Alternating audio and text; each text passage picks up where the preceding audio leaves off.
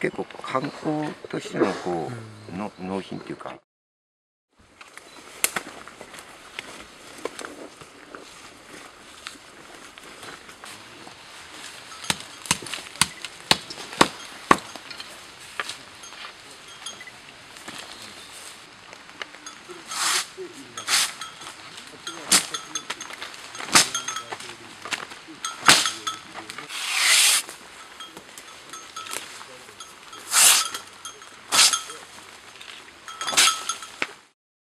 片方ばっかり引っ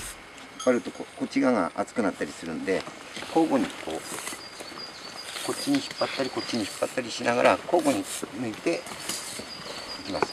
大体まああの保存の場合はこうやって天日干しして完全にあのカビの生えないような状況であの天日干しします。でこれをあのあの五右衛門風呂とか沼地にあの半月ぐらいさらすとあのまあ、この繊維が柔らかくなって中のあのぬめりが取れるんですよね。これをもう一度あの水につけてあの柔らかくした状態にしてこの何層にもなってる皮を一枚一枚こうやって剥いでき剥きますね。もう何層にもなってるんですよ。でこれを爪で裂きましてどんどんこう糸にして。で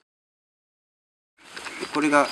あのアイヌの着物としての反物になりますね。ありますね。でまあ結構観光としてのこうの納品っていうか。1キロ200使うんですけどこういう結構柔らかい